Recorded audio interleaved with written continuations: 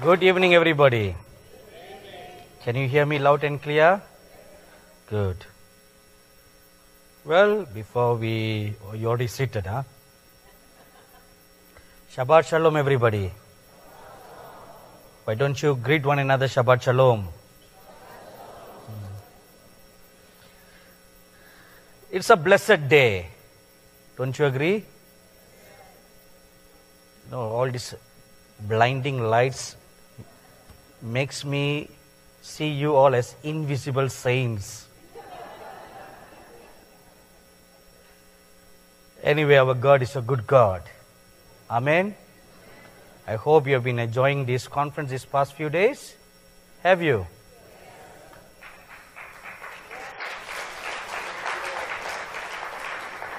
And I'd like to thank our dear brother Bruce Allen for inviting me to come and be part of this conference. I sincerely thank him for inviting me. When you came into this uh, meeting tonight, you received this package. Have you? Is anyone here who didn't receive? If you have not received, please put up your hand, and our dear ushers will quickly come and give you one. Okay, there's one at the back, right at the back.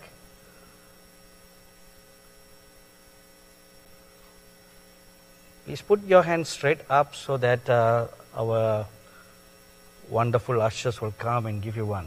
If you will look into the package, this is just a little um, something about a ministry that we put together.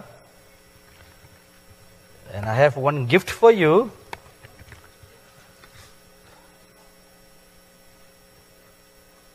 This is supposed to be a gift for you. This track that we have out there, this DVD is a DVD of this track.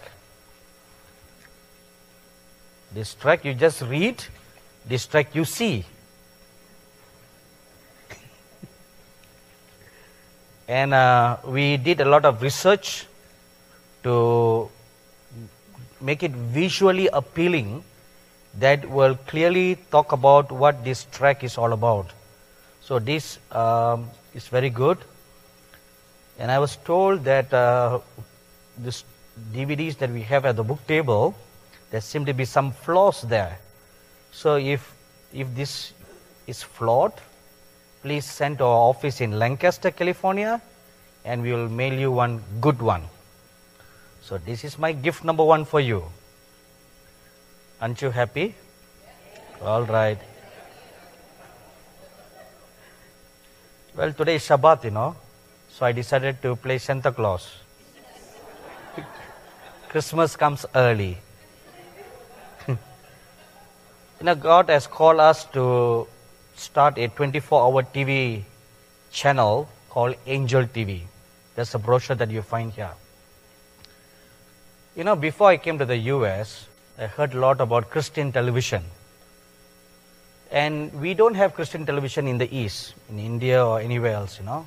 So I was always very excited about Christian television, and I always hoped in my heart if ever the Lord will bring me to the US, the first thing I will want to do is watch Christian television. So, you will be surprised to hear what I'm going to say next. So when I first came to the US, I went to the city called Cincinnati in 1991. Then I spoke at a conference in St. Louis. After that, the Lord told me to go all around the US and Canada to evangelize the Tibetan people.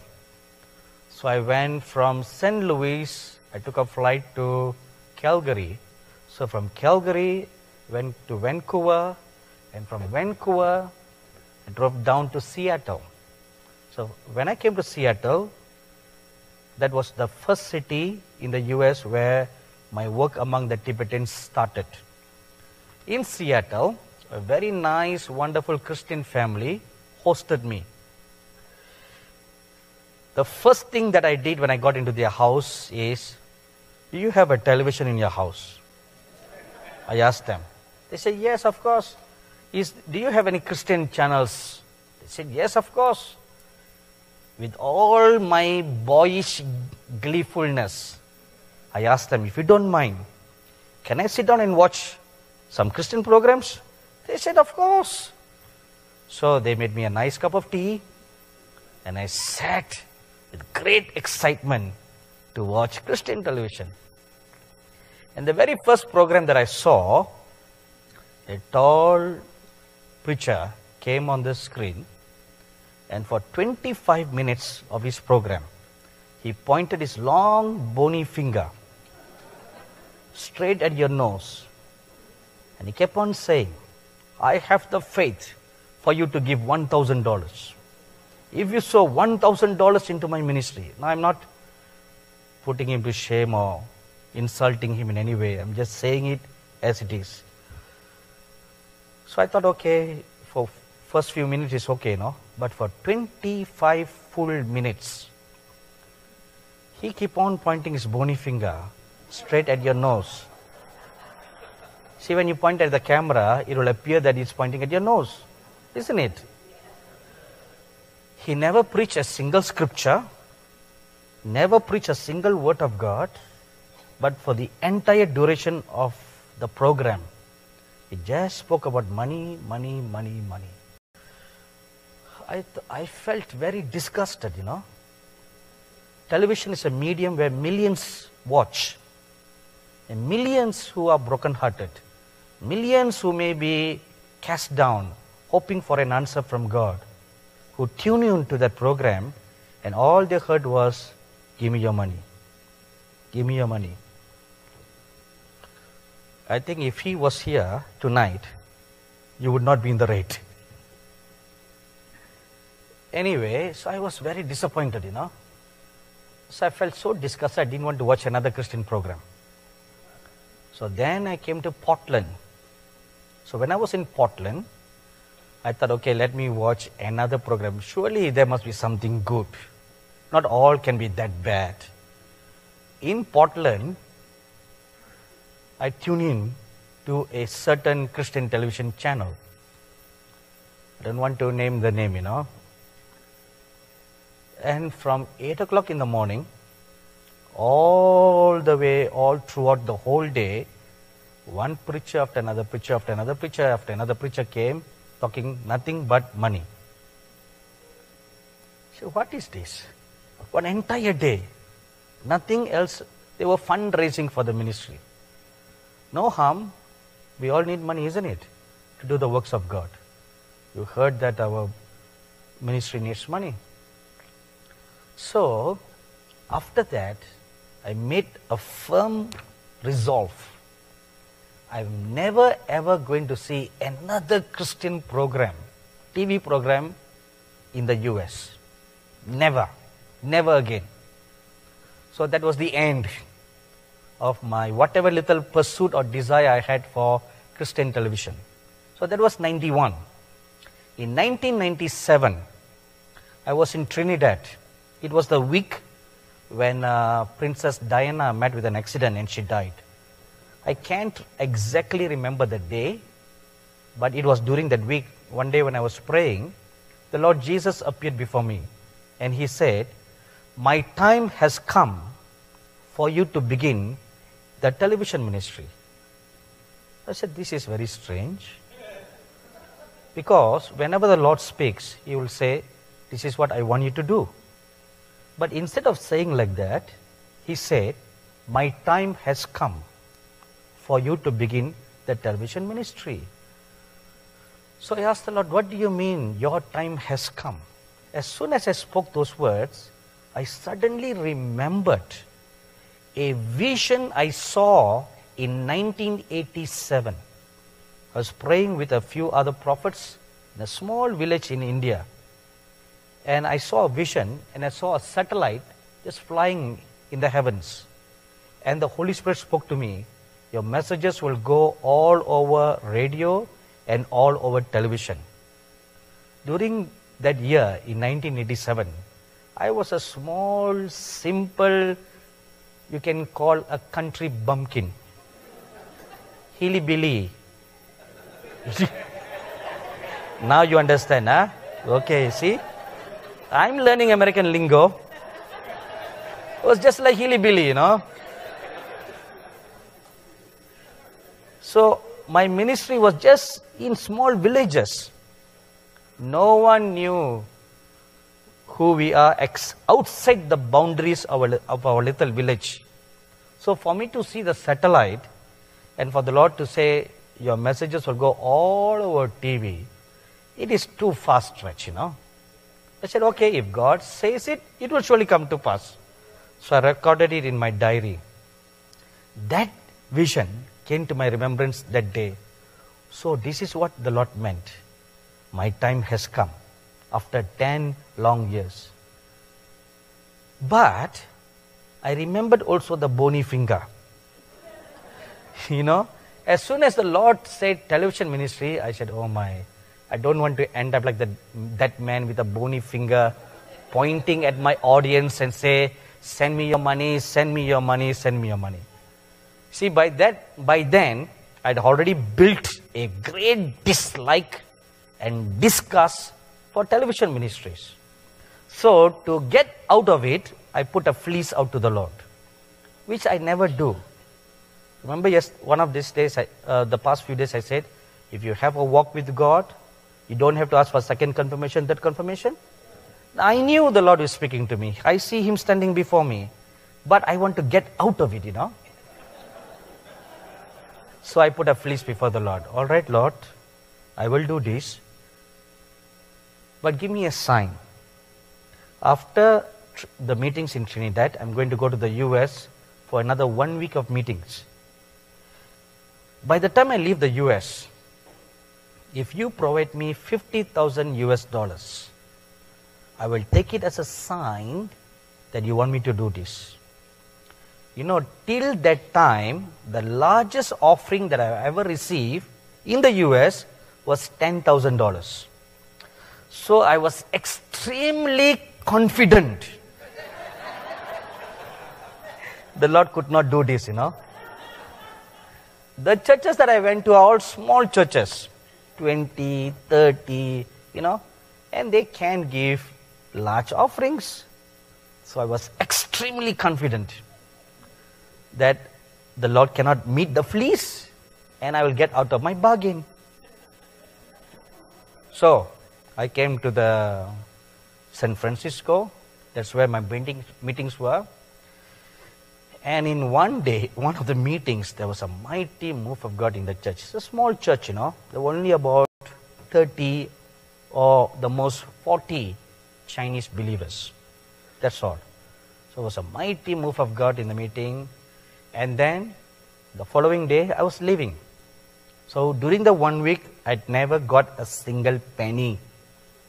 So I thought, okay, now I'm off the hook. So before I left, the pastor who invited me came and gave me an envelope. He said, This is your honorarium, your offering. So I thought, okay, how much can it be, you know? And then he added another envelope. He said, This is a special offering. There was a millionaire who came to the meeting. a millionaire who came to the meeting last night. He was so blessed by your message that he gave this special offering for you. I said, okay, you know, sometimes millionaires are the stingiest people, you know.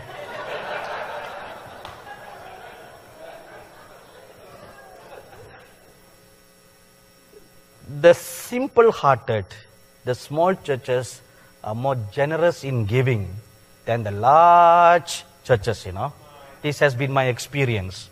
So, anyway, so I didn't care much about whether it's a millionaire or billionaire, doesn't matter, you know. So I put the envelopes together, went back home. Before I left, so I just wanted to see because I remembered the deal we had with the Lord, you know. And when I when I opened the envelope, I was shocked. It was fifty thousand dollars. I thought, oh my God, now I'm caught. So anyway, I knelt down and I made a covenant with the Lord. Lord, if you want me to do this, I will never do like what that man did. So I will not even ask my audience for money. You want me to do this, you must supply all our needs. If you will agree to this covenant, then I will do it. And the Lord said, Yes, it's done. So, to make a long story short, we started a one weekly program in 1999. So, a year later, the Lord spoke to me to start a 24 hour television channel. And that's what this is all about a 24 hour television channel. And it was a very, another mind boggling thing to me. You know, I struggle very much to produce one program a week. It's not easy, you know. It's not easy to stand before the camera. You don't have no audience. You just look at the camera and you, imagine your audience.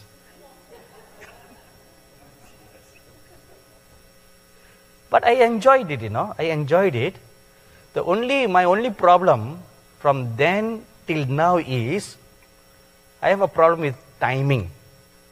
You know, in a 25 minute program, you should preach for 15 minutes. And then you pray for 3 minutes, 18 minutes. And then they spice up your program with a song, with book announcement, this announcement, that announcement. They spice up everything to total 28 minutes and 30 seconds. So, when I'm closing my eyes and praying, how to know three minutes have passed by? Right? so I came up with a, a plan. So I told my associate, okay, have a long stick, keep a stopwatch in your hand, and just tap on my leg, you know, when three minutes are up. So when you tap me, I will know three minutes are up and it's time for me to say Amen. So the first day, I was preaching and then I was praying. I was praying. I was praying. Seems like it was going on and on. I didn't feel any tap, you know. Then I ended the prayer. 30 minutes have passed by. I looked at my associate and said, Why didn't you tap me? How can I tap you? You are my boss.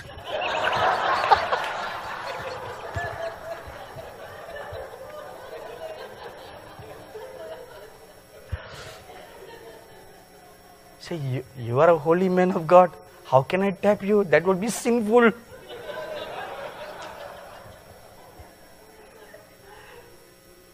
I told him, if you did it on purpose, that is sinful. If you do in obedience to what I say, that's not sinful. Anyway, it took him a long, long time to overcome that barrier. Anyway, these are all some of the things that we do, you know. So when the Lord called us to do a 24 hour television network, He gave me a plan. What is the purpose? See, there are so many television networks, you know, TBN, what are the so many television networks, God TV, this TV, that TV, you have Daystar, all this wonderful channel, right? So I said, why another television channel, Lord? And if you look at the brochure, you'll see the first sentence here. A prophet for the end times. That's what the Lord told me. The channel is a prophet. Just like I send a prophet to the nations, the entire channel is a platform where my prophets, my true prophets, will come on board and they will prophesy. They will speak the revelations and the words that I give. So that, that's what this network is. It's not just a television channel that preaches, teaches, edifies, exhorts, comforts, but it is a prophet an oracle of God. So I began to pray and ask the Lord, so if a prophet, so what is the job? So the Lord over the years showed me who are the people that should be invited. So if you look at this second page here, there are some of the speakers, ministers of God, who appear on our network. And on the second row, the first picture, you'll see a very handsome looking man. I hope you recognize him. Do you? Yeah, he looks very serious, you know. Deep in thoughts, deep in revelation. Our dear brother Bruce Allen. So he is one of the men of God whom God has called us, called to network with him, to partner with him, to be one of the prophets who will speak on this network. And many of them that you see here are not big time famous speakers, you know, except for a few, but many of them are choice prophets of the Lord. Like, for example, I don't know whether you have heard of this man of God called Randy Demain. He saw that in the third row, the third picture. He's a wonderful man of God, very humble man of God. And then there's another bald headed man called Bernard Lee from Vancouver and Pastor Jose Rocco from Australia. All these are wonderful prophets of God who are not big time, big name prophets. So, this channel is the channel that God has uh, told us to launch, and we launched this channel in the US last year. So, this December will be the, our first anniversary, anniversary of launching to the US. This is available if you look at the back side of this pamphlet through the Glory Star network. So if you buy this Glory Star satellite system, which is very inexpensive, not very expensive, a one-time payment, for a one-time payment you get about several uh, 75 Christian channels plus many many radio stations. Unlike DirecTV or Dish network where you have all kinds of other garbage there. This is only Christian networks. 25 uh, God TV is there, Daystar is there, Cornerstone is there, TBN is there, Spanish channels, Arabic channels, Indian channels, and our channel. And Angel TV is also available on Roku. Do you have a Roku? If you do, so it's available on Roku, and then in all these other apps that you find here. So I encourage you to watch our program. If you are blessed through our messages here, and you know, in a conference like this, we can't be here every day. We come for three days, we come for four days, and then we are gone. And who knows if you will see me again or not? Who knows? Right? Who knows? But if you have this, you can see my handsome face Is it true? If not handsome, at least smiling face, you know. Every day, every day on our television network, I host a daily talk show where we share the deep things of God. Some of the things that I have no liberty to share in this atmosphere. But on our network, I freely share them because I now have a different audience. Now, when I come to a meeting like this, according to the spiritual sensitivity of the crowd that is here, according to the spiritual need that is here, the Holy Spirit tells me, okay, this is what you should say. These are the things you should not say in this meeting because they're not necessary here.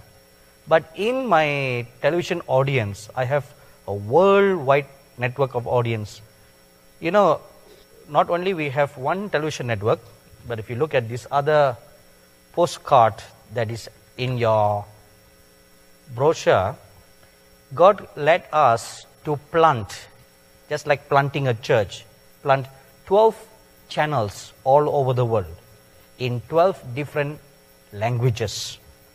We have a channel in India, over Europe, then we have in a Spanish channel in South America, and then a channel in the US, and a Portuguese channel over Brazil, and a Russian channel over the Russian speaking nations, and a Hebrew channel over Israel, and an Arabic channel over the Middle East nations, a Chinese channel over China, and in Australia, English channel, and a channel over Africa, that covers the whole continent of Africa, and a channel in the Far East that is primarily targeting the Philippines. You know, the, the channel in Hebrew, we are the second Christian television station to receive permission from the Israeli government to be broadcast into all the cable homes in the whole of Israel. Amen. So your programs will go all over Israel. So this coming Rosh Hashanah on September 25th, we will officially launch Angel TV in Israel. It's been already going on in the air for the last one year, but this Rosh Hashanah, that's when our agreement with a cable company, something similar to um, DirecTV. There is only one uh, DirecTV like company in, for the whole of US. I mean, for the whole of Israel. And they are available in 600,000 homes all throughout Israel. And just last month, we got the permission from the Israeli government that they approve our channel. No, two other Christian channels from America were rejected, you know. So it was a great grace and miracle of God that we got approved. Amen. Because it was the will of God. You know, the Lord spoke to me very clearly. The two witnesses are going to come very soon in Israel. And our network's job is to televise live are three and a half hours, three and a half years of ministry all over Israel so that everybody in every nook and corner of Israel will see the awesome power and glory that will be displayed when the two witnesses will be on this earth.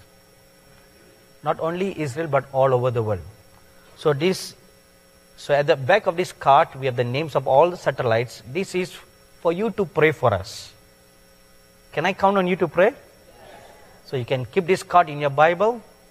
And when you, each time you open your Bible, please lay your hands on our satellites. You know, these satellites needs protection. Because in the past few months, the satellite over Middle East, our signals were jammed by the Muslim government. So the signals could not go through. The signals over Russia, uh, China were jammed. So we want to pray for protection. So that's why we have the names of all the satellites at the back of this card so that you can name them one by one and lay your hands lay your hands on all these channels and pray a prayer of blessing. Plead the blood of Jesus over them. Will you do that? Thank you so much. Shall we all stand up for a word of prayer?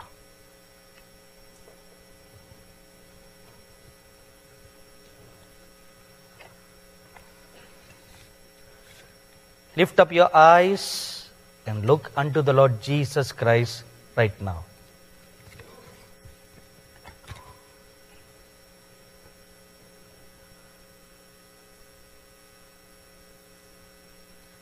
I love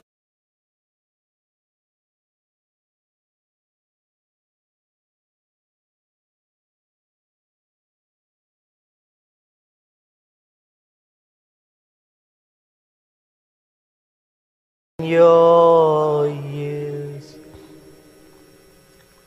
Our gracious and loving Heavenly Father, we bow our hearts, we bow our heads unto you on this your blessed and sanctified day. Thank you, Holy Father, for gathering all your dear children from far and near today. It has been your good pleasure to gather your dear children unto yourselves. Now we pray that you will open the eyes of our understanding and give us a listening heart give us an understanding ear that we may hear what the Spirit of God is speaking to the churches in these last days. Thank you, Spirit of God, for being present in our midst like the Spirit of the Lord. Thank you, blessed Holy Spirit. You have come to be in our midst. And now I pray, stretch forth your wings and cover every one of them under your loving embrace. Fill them, Lord, with a peace beyond all understanding right now. Right now. Give them a great peace, Lord. Giving them great peace. Thank you, Father. Thank you. Hide me, Lord, behind your cross. And let the words of your mouth flow out today. In Jesus' name we pray. Amen. Please be seated.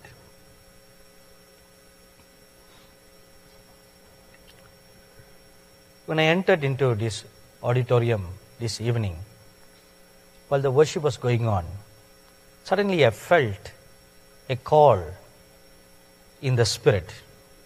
And when I quieted myself, I felt my soul taken up before heaven. And there I stood before the Lord Jesus Christ. And the Lord spoke to me and said, This is the words you shall tell my people. So, this is what the Lord Jesus told me about all of you, precious saints. Firstly, concerning this place, the Lord Jesus said, This place has been chosen. This place does not mean this auditorium, maybe this city or this region, has been chosen as a place of refuge during the end times. Many who are persecuted, many who are chased, many who are chased away, many who are driven out, many who will run for protection, they will come to this place. This place will be a place of refuge. Once again, the healing stream that began during John G. Lake's time will begin to flow in this region. The wounded will come. The wounded will come to be healed. And when the Lord spoke those words, I saw an elderly woman. A, a person came to her with a broken leg. The, the leg was broken in two pieces. And the woman said, Come and sit here. He sat on a table. She took those two pieces in Jesus' name. It got joined as one, like normal.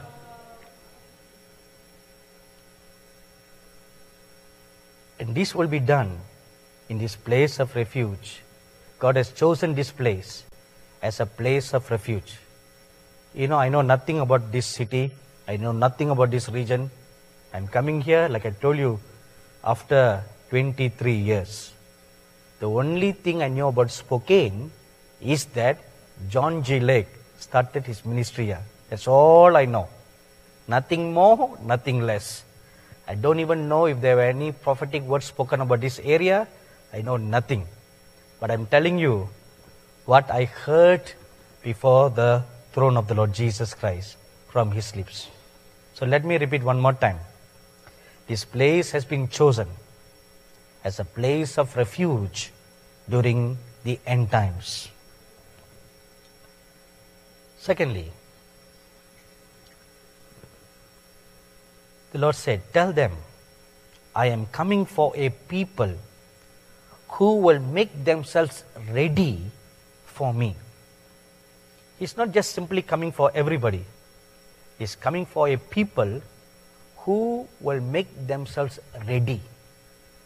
If you don't make yourselves ready, He will come, but you will not be called. If you read Revelation chapter 19, verses 7 to 9, the scripture says, Blessed are they who are called unto the marriage supper of the Lamb. See, blessed are they who are called. So, what about those who are not called? The reverse is also true, you know. If those who are called are blessed, what about those who are not called? What about them? So, which means there will be people who are not called. Like those foolish virgins who did not prepare themselves to meet the bridegroom. Now, if you read that parable very carefully, all the ten virgins went to meet the bridegroom. They all had lamps in their hands. But there was a difference. The wise prepared themselves for the eventuality of being left behind. The foolish were just overconfident. No, no, no, no, we will not be left behind. The church will not go to the tribulation. The church will not this. The church will not that. The church will be raptured before the end comes. As a result, she was not prepared. There was no extra oil in her lamp. No extra oil. And weigh and behold, the bridegroom delayed his coming. He delayed. He was supposed to come at 8 p.m., but he delayed. So they didn't know when he was coming. Just when you thought the church will not go through the tribulation, suddenly you find that everybody is here and the mark of the beast has been introduced. Don't laugh. This is serious. You are going to face that. That will be the ultimate test of our loyalty to the Lord Jesus Christ. That is the ultimate test. That will be the ultimate test of purification for the church. Ultimate test. The ultimate test of the fire that you'll have to walk through. Just like the three Hebrew boys. Till they were thrown into the fiery furnace, they said with such a resolve, Our God is able to protect us. But even if He does not, we will not buckle down. Look at that faith. Our God is able to protect us even if He forsakes us. Even if He does not answer our prayer. Even if He does not care for us. We will not bow down. We will not bow down because our ultimate faith is in the God who does not forsake. That was the faith they had. And they were thrown into the fire. Till the moment the Lord just stood back, you know, to see whether they really meant what they said. Whether will you chicken out before reaching near the furnace? Some do. Some do. He that endures till the end, only they will be safe. Not all. You need to endure till the end. Till they were thrown into the furnace, you know. They held on to their faith. That was the problem with the foolish virgins. They were not prepared for the end times. They were not prepared. They belong to the group of hyper grace theology. They belong to the group which is very seeker friendly. They belong to that group. So everything's okay for them. If the, if he, the bridegroom said he's coming, he's coming. So why crucify the flesh? When the Lord has already finished all the works. Why? Why fast and pray?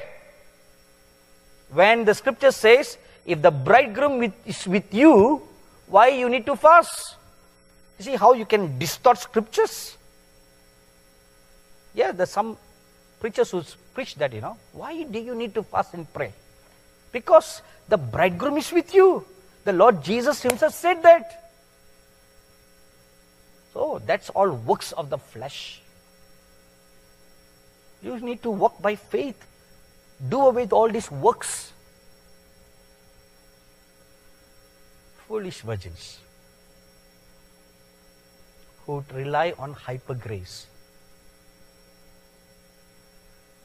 I am coming for a people who have made themselves ready. Make yourselves ready. You know, in the 1950s in China, there was a leader called Mao Zedong. And when he came to power, he wanted to eradicate religion from China. So he introduced a policy called the Cultural Revolution. In 50 years, he wanted to totally eradicate the name of Jesus from China. Totally get rid of all the churches, bulldoze all the churches, bulldoze everything, all religion out, even if it is the Buddhism. He died, but the church is still alive in China. Okay, this is not the best part of the story. The best part of the story is this the church grew in hundreds and millions of believers during that 50 years of persecution. It grew abundantly. So, four scholars of missions in the US wanted to find out what is the secret for the church growth in China during the Cultural Revolution. So they went to China and they interviewed older ministers, older believers, older elders, those who were 70 years and, or, and above. They interviewed every one of them. Tell us, what's your secret? What's your secret? And then they collected all their research and findings together and they found one answer in unison. The answer is this What is the secret? They were prepared for persecution. That was their secret. Their church elders, their church pastors prepared their churches for persecution. They said, Be strong, be bold. Persecution is coming. We will be persecuted, we will be martyred, but never deny your faith. They taught the church. Because they taught the church to go through the fire, they were all prepared, they were all ready. When the time of persecution came, none of them recanted their faith. No one renounced. They all stood firm because they had built up their faith from their little ones to the older ones. They all were strong. Many little children died as martyrs, you know little children, young people, they died as martyrs. But none of them lost their faith because they were ready. If this comes to our modern times, how many of us will survive? You tell me. What about the church in the US, the church in the West? Among the, even the church in the East has now is now swallowing hyper grace doctrines. They are adopting seeker friendly churches now. So we are getting corrupted thanks to you.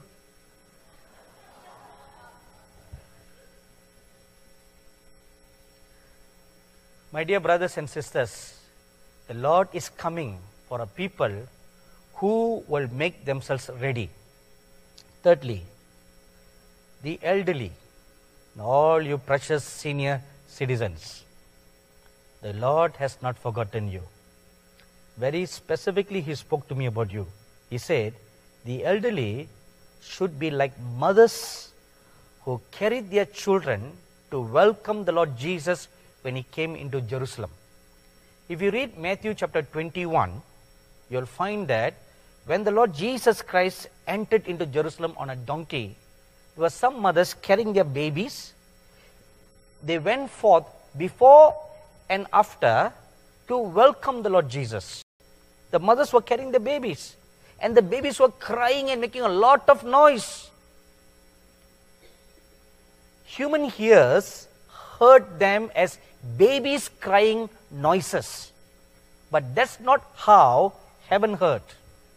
If you read the scriptures, heaven records the babies crying as Hosanna to the King of glory. Welcome. That's how the Bible records it. That's how God heard it. It's not babies' cries. The babies were praising and welcoming the King of glory into Jerusalem. And the mothers were carrying them. So, likewise, the elderly people in these times, you should carry in your prayers the young to fulfill their call and destiny. That is your duty. You know, the other day I shared with you that when the prophetic anointing is poured upon the old people, do you mind if I use the word old instead of senior citizens? Is it okay? Okay. And do you also mind if I use the word fat instead of large? Is it okay, everybody? Okay, all right. Where I come from, a fat is a fat, you know. We don't try to be politically correct by saying large, extra large. Is it okay, everybody? Do you still love me? How much? All right. So, now, yesterday afternoon I shared with you that when the prophetic anointing is poured upon the older people, they will dream dreams. Now, what kind of dreams will you dream? This is a wonderful revelation that the Lord gave to a uh, saintly prophet in India, just like Joseph dreamed a dream about the end times during his time and how to protect the people from famine. See, Pharaoh saw the dream, but Joseph received the interpretation. Fed cows and lean cows. So, what to do? See, Joseph was given a strategy. What to do? Likewise, all you precious saints, senior citizens, God will speak to you dreams. In the dreams, God will speak to you how to care for the young people the dangers that are coming, the strategies for protection. So when the hurt comes to you, you're going to encourage them. Say, no, don't worry. If this city persecutes you, this is what God showed me, this is what you shall do. God will speak to you. That's the purpose. You have a great ministry in the end times. My dearly beloved old people, your time is coming soon. Amen. You're going to do great exploits for God. Your age and your physical disabilities or infirmity, not to worry about all that. God has got all that figured out what to do with you. You can be a VA, you can have this disability or that.